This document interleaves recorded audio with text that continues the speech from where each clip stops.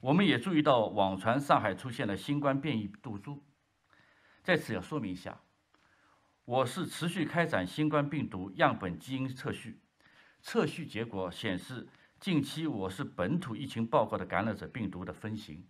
主要还是奥密克戎 BA.2 和奥密 BA.2.2 的变异毒株，目前未发现传播力更强的新的变异株。谢谢。